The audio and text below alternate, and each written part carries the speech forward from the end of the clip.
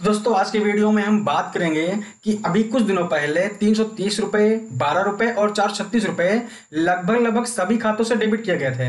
जिसमें हम सभी लोगों को प्रधानमंत्री सुरक्षा बीमा योजना और प्रधानमंत्री जीवन जीवन बीमा योजना की बीमा पॉलिसी दी गई थी। लेकिन दोस्तों, आज के डेट में फिर से एक रुपए का चार्ज बैंक द्वारा हमारे खाते से डेबिट किया गया है और हम सभी लोगों के मन में जिज्ञासा है कि बैंक वाले अब कौन सा चार्ज ठोक दिए हैं। तो दोस्तों, इसी कंफ्यूजन को दूर करने के लिए आज के मैं इस वीडियो में आया हूँ। तो दोस्तों, मैं कुमार, स्वागत आपका हमारे यूट्यूब चैनल कुमार सर्च में दोस्तों सही समय पर वीडियो पाने के लिए आप हमारे चैनल को सब्सक्राइब कीजिए और बगल में बेल आइकन को भी दबाएँ। दोस्तों, आज बहुत सारे लोगों के मोबाइल पर मैसेज आया है कि आपके बैंक अकाउंट से एक सौ सतहत्तर रुपए डेबिट हुआ है। दोस्तों, आपको बता दें कि यह चार्ज बैंक का बड़ौदा द्वारा एटीएम डेबिट कार्ड का चार्ज लिया गया है और इस मैसेज में भी डी कार्ड फ़ी लिखा हुआ है, लेकिन बीच में स्पेस न होने के कारण लोग समझ नहीं पाते और यह चार्ज साल भर में आपको एक बार बैंक को देना पड़ता है। चाहे आप एटीएम कार्ड यूज़ करें या नहीं, लेकिन अगर आपके अकाउंट पर एटीएम डेबिट कार्ड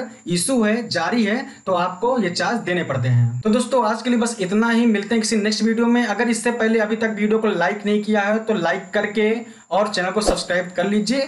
बगल में बेल आइकन को भी दबा दीजिए। मिलते हैं किसी नेक्स्ट वीडियो में। तब तक आप लोग हँसते रहिए, मुस्कुराते रहिए। Bye bye take care